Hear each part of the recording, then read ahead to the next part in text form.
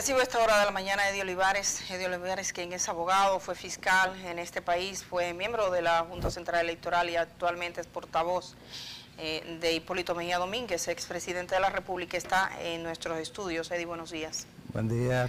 Para mí un gratísimo placer eh, venir aquí a conversar con el país sobre este tema eh, tan trascendente para el proceso que viene. Pero yo quería antes, si me lo permite, eh, porque la verdad es que es muy doloroso, muy conmovedor eh, ser testigo de una situación tan terrible como la que vive esa familia eh, después de la muerte de su hija y pasar por una situación tan difícil como la desesperación por tener su cuerpo, sepultarlo, ¿Qué es lo último que pueden hacer en una situación tan difícil como la que vive ese pueblo?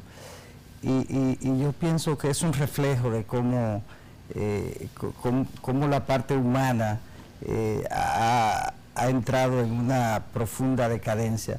Pero yo creo que este es un pueblo solidario eh, frente a, un crimen que, como, como usted decía, puede ser contra cualquier mujer. En este caso fue contra contra ella. Y, yo pienso que la solidaridad del pueblo dominicano debe manifestarse. Son 3.800 dólares. 3.800 dólares. Sí, yo pienso que eh, es, eh, deberíamos eh, recaudar ese dinero con aportes para entonces que, su familia pueda sepultar ya pronto a, su, a su hija. De modo que yo creo que deberíamos hacer un esfuerzo para para recaudar ese dinero, que no creo que sea difícil hacerlo. Yo puedo preguntar a los miembros de su familia que están aquí en el país si tienen algún tipo de, ah, porque hay que agotar algún tipo de procedimiento que se pueda reunir este dinero, aunque yo honestamente le digo, Olivares, yo no pierdo la esperanza de que se imponga la sensatez, o sea, la, la razón, la vergüenza, la dignidad, el decoro ¿Qué es eso de que, de que 17 días después ni las autoridades dominicanas ni aquellas por 3.800 dólares? ¿Qué vergüenza es esa cuando aquí hay gente que se gasta eso, sabe, eh, eh, en nada? En una, en una cena con vino. Sí, y además yo pienso que todo el tema de la violencia de género en República Dominicana debe tener recursos. Porque tienes a las madres que andan con sus hijos, como esta vez esa muchacha dijo, yo estoy sola, es muy carente, es muy precario eh, entonces debe tener recursos. Ese debe ser un capítulo especial ya. Claro. Porque se ha convertido en el principal problema social de la República Dominicana. Eh, pero yo pienso que la propia Procuraduría, frente a esa situación, la Policía Nacional, pues, eh, por tratarse de un agente de la Policía Nacional, en fin, esos 3.800 dólares eh, deben aparecer ya. No podemos esperar que, lo resuelvan los venezolanos. Eh, vamos a resolverlo nosotros aquí, eh, porque hay momentos en el que la solidaridad se impone a la burocracia. eso, eso no puede dejarse, dejarse en manos de la burocracia, el dolor de, de esa familia. De modo que vamos a hacer el esfuerzo para tratar de obtener esa suma que no es una suma exorbitante, que eh, aquí hay mucha gente que yo sé que van a cooperar y que podemos eh, llamar inclusive para que eh, contribuyan con, eso. bueno, Olivares, además de este caso, inicialmente, cuando hablamos de esta entrevista, lo hicimos por una declaración del presidente de la República que dijo que todos los candidatos del PLD le prometía, regidores, candidatos a alcaldes, senadores, diputados, que van a tener recursos, que le van a dar recursos como el tema de los recursos en las campañas electorales siempre ha sido en este país un problema, el uso de los recursos estatales también lo es, muchos vieron con preocupación estas declaraciones, no se identificaba las fuentes o si el presidente tenía unos recursos excepcionales o de dónde los sacaría. Participación Ciudadana, por ejemplo, habló de eso.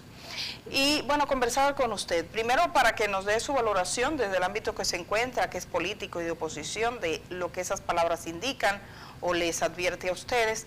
Y segundo también para saber si en la nueva legislación este tipo de temas ya está configurado y se puede de alguna manera tener una situación distinta si tiene esperanza de eso. Sí, yo más que como eh, dirigente del Partido Revolucionario Moderno, eh, cuando se trata de este tipo de, temas electorales, eh, prefiero hacerlo como, como un técnico en la materia y, ahí procuro siempre establecer una, una separación entre mi papel, mi rol como dirigente político. Pero eh, mire, eh, yo pienso que fue una declaración muy desafortunada del presidente Medina.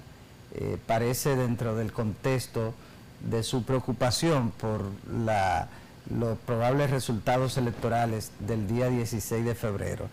en ese sentido, el presidente motivó a sus candidatos a, regidores, a vocales y a alcaldes y directores de distritos municipales eh, y, estamos hablando de 1.064 regidores, 735 eh, eh, que en razón de que van a ser elegidos mediante el voto preferencial, es decir, que los regidores van a arrastrar al alcalde, de eso se trata. Los regidores van a arrastrar al alcalde. Cuando usted vote por un regidor, estará votando automáticamente por el alcalde. Como y es bueno que la gente lo entienda, que la gente no lo sabe. No puede irse a votar por un regidor en un lado y un alcalde en otro. tiene que ser... El regidor arrastra al alcalde. Arrastra al alcalde y el vocal arrastra al director del distrito municipal. Son 235 distritos municipales. Y solo puede votar por un regidor en cada demarcación. Claro que sí, solo por un regidor.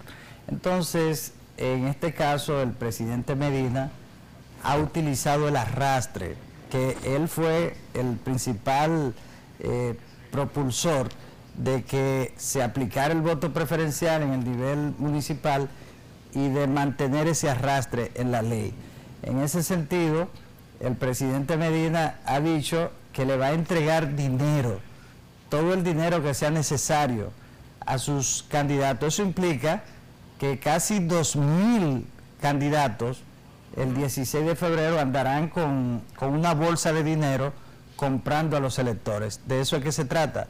¿Por qué? Porque el presidente dijo al mismo tiempo que para ganar las elecciones del 16 de febrero eh, hay que llevar la gente a votar. Entonces, eh, el mensaje es, y, y, además se lo dijo literalmente, te vamos a, le vamos a dar recursos a todos nuestros candidatos para que lleven la gente a votar. En ese sentido, eh, al llevar, cuando un regidor lleva a votar a un elector, en ese mismo momento está votando por el alcalde. De modo que eh, es una forma de garantizar que sus alcaldes eh, ganen las elecciones sobre la base del uso de los recursos. Ahora, tú preguntabas, ¿de dónde van a provenir esos recursos? Del Estado recursos del Estado. ¿Usted cree que es del Estado? Claro que sí. Y recursos que van a ser producto de, aportes de, de, de, en la que participarán contratistas, eh, personas relacionadas con el gobierno, con el gobierno y que tienen como quiera que hacer esos aportes. De modo que el presidente Medina envía un mensaje, ya eh, le dice al país voy a usar los recursos del Estado para ganar las elecciones del 16 de febrero. Es sumamente delicado lo que, lo que ocurrió eh, con este planteamiento del presidente Medina y un reflejo de que el Partido de la Liberación Dominicana eh, continúa utilizando como su instrumento para ganar elecciones el uso de los recursos del Estado y la inequidad en los procesos. Hay varios aspectos de esto, eh, por ejemplo, eh, ¿qué, estipula la ley? ¿Cuál es la función de la Junta Central Electoral? También está el tema de la compra y venta de cédulas, que la Junta ha dicho algo al respecto. Y una carta que hoy ha revelado eh, Altagracia Salazar, que es una carta eh, interna del PLD enviada a un funcionario de la Dirección de Aduanas para que cancele a alguien y ponga a otra persona, le dice el nombre, porque ese alguien está conspirando dice, con la oposición.